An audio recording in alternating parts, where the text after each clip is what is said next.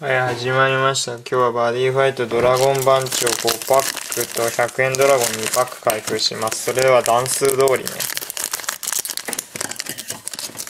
まあ朝なんでサクッとやります。バイモン、デストラクション、ドラゴブレイブ、ジャンヌダルク。おお、アーマナイトデーモン。いきなり当たりきました、超勝ち。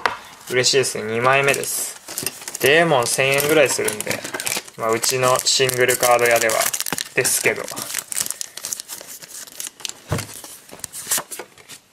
はい。シルフィド・ウープス。スチールガントレット。ファイヤースターターガンザック。あーバルケンか。いらん。はい2パック目。まあデーモン出ればいいんじゃないですかねもう。えー、ラテルシールド懐かしい。ダルガス、バーニングソード、グレモリー、アーマナイトサキュバスはこいつ結構出ないんですよね。ワンボックス買っても出ない時ある。はい、じゃあ、えっと、3パック目。えー、ウープス、えー、リルシーガー、デストラクション、ハンニバル、キングザドミネートはいいですね。結構出ないカードです。次。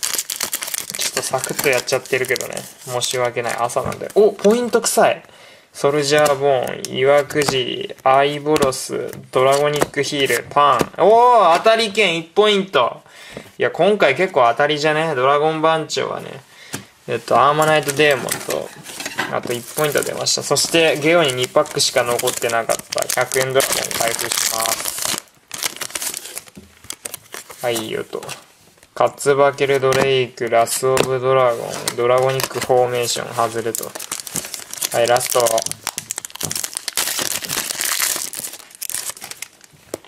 見事に向いたね。はい、ブレイドウィングドラゴン、ドラゴニックサンダー。あー、ワイヤットアップってことでした。まあ、今回100ドラ無駄になったけど。